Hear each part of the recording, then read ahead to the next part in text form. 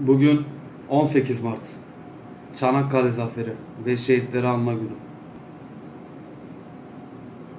Tüm şehitlerimize Allah'tan rahmet dilerim.